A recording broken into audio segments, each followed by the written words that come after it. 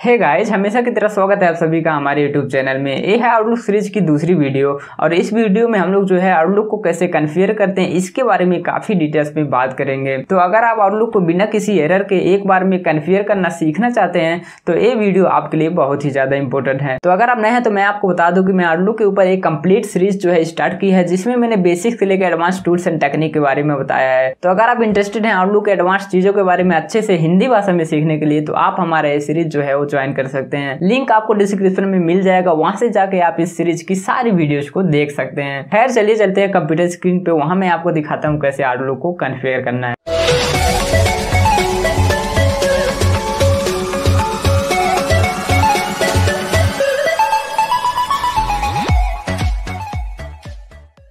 तो यहाँ पर मैं आपको जीमेल अकाउंट से आउटलुक को कन्फिगर करना बताने जा रहा हूँ। वैसे तो आउटलुक को कन्फिगर करने के लिए लोग बहुत सारे प्लेटफॉर्म का यूज़ करते हैं, जैसे कि Gmail account Yahoo account Microsoft account और भी ऐसे बहुत सारे प्लेटफॉर्म हैं जिनका यूज़ करके आउटलुक को कन्फिगर कर सकते हैं। लेकिन सबसे पॉपुलर जो है आउटलुक को कन्फिगर करने के लिए वो है जीमेल अकाउंट क्योंकि देखा जाए अगर तो आजकल हंड्रेड लोगों के पास जीमेल अकाउंट होता है।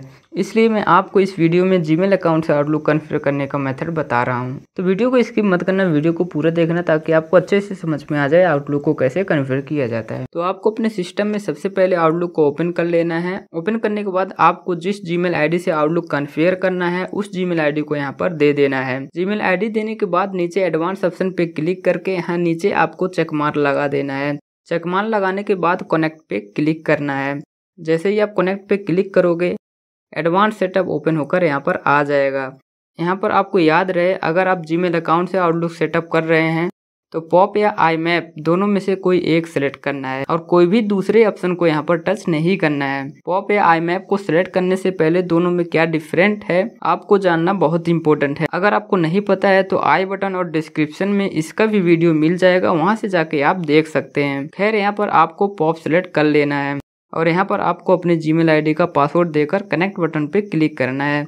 कनेक्ट पे क्लिक करने के बाद अगर आप में ऐसा प्रॉब्लम आ रहा है कि बार बार पासवर्ड मांग रहा है तो टेंशन लेने की कोई बात नहीं है आपको सिंपली गूगल ओपन करना है और सर्च करना है गूगल साइन इन जैसे ही आप सर्च करोगे, आपके पास यहाँ गूगल अकाउंट लॉगिंग का लिंक ओपन होकर आ जाएगा। इसको आपको ओपन करना है। ओपन करने के बाद यहाँ पर सेम वही जीमेल आईडी और पासवर्ड देकर लॉगिन करना है। तो लॉगिन करने के बाद आपको सिक्योरिटी में जाना है। जैसे कि आप यहाँ पर देख सकते हैं सिक्योरिटी का ऑप्शन दिखा रहा है। इसमें आपको क्लिक करना है।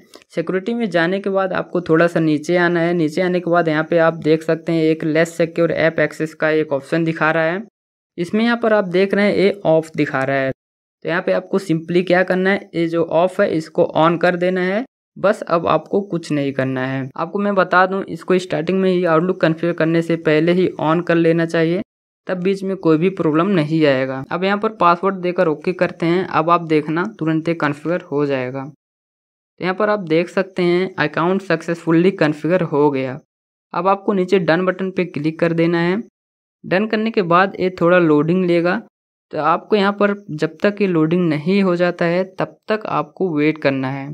तो यहाँ पर आप देख सकते हैं लोडिंग के बाद आउटलुक जो है कॉन्फ़िगर होकर ऑटोमेटिक ओपन हो गया। अब आपको यहाँ पर आउटलुक में सेंड एंड रिसीव का ऑप्शन देखने को मिलेगा।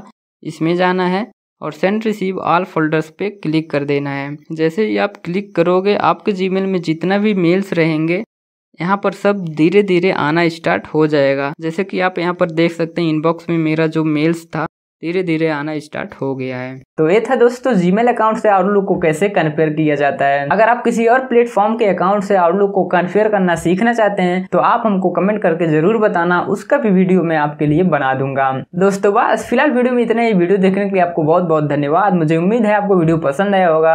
अगर आपका कोई सवाल है सुझाव है तो नीचे कमेंट करना मत भूलिएगा। अगर आपने अभी तक वीडियो को लाइक एंड शेयर नहीं किया है तो लाइक भी कर दीजिए शेयर भी कर दीजिए। और अगर आप हमारे चैनल पर नए हैं तो चैनल को सब्सक्राइब करना मत भूलिएगा, क्योंकि मैं आपके लिए हमेशा ऐसे ही हेल्पफुल वीडियो लेकर आता रहता हूँ। मिलता हूँ अगले वीडियो में, तब तक के लिए जय हिंद बंदे मात्र